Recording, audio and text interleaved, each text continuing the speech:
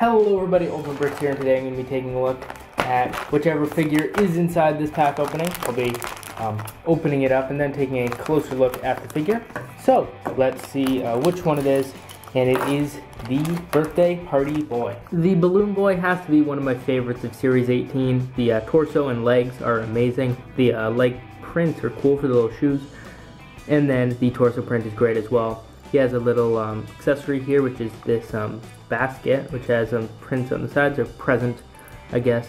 And then he has um, this little print on the top. And this is just a regular 2x2 um, plate. You can see has some printing on the back side. like, what's up with that? It's like some red paint spilled on the back. I wonder if that's some sort of like misprint or something. It has to be. There's no way that's intentional. So I wonder if that's kind of rare. I don't know. Then anyways, on the front, you can see it's got just some printing for a bow and polka dots. And then on the inside, there are two packs of LEGO minifigures Series 1, which this is an absolutely incredible um, print right there, as you can see. And that just fits right inside the basket. Both of them fit in the basket, which is a new piece right there. And then just closes right up.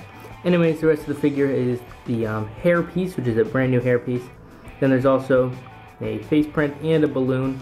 The balloon is a new mold, and he actually holds it um, on the side like that. So that's pretty cool. It doesn't come apart from, or it doesn't come off of the stand. It's all one piece, which I thought was interesting. Anyways, that is the pack opening and uh, birthday party boy. Sorry everything's falling all over the place. Anyways, thank you so much for watching. Remember to like, comment, and subscribe, and I will see you later. Bye.